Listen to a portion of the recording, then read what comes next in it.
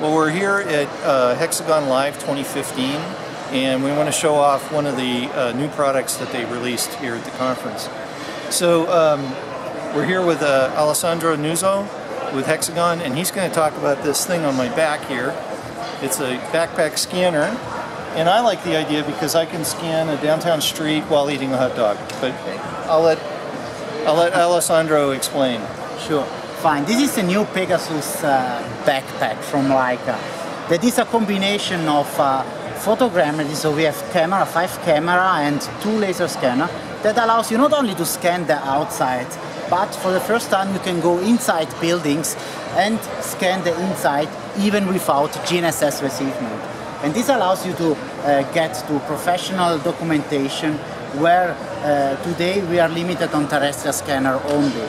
And with this kind of product that is uh, made out of carbon fiber, weighs only 14 kilogram, we have an operational time with four battery here inside around 3.5 hour. We have uh, triple band GNSS receiver, 4 megapixel cameras, two uh, VLP 16 Velodynes, one IMU 200 Hz, a very accurate one, and it is just uh, for your uh, imagination. So once you start working with it, it's limited only with your imagination.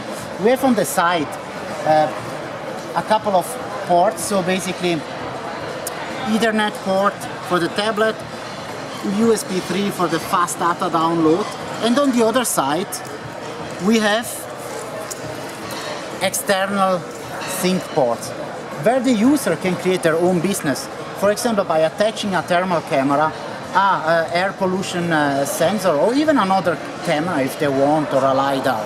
So this kind of connectivity and the whole uh, sensor platform allows you to get the best possible product that will meet your expectation for your project.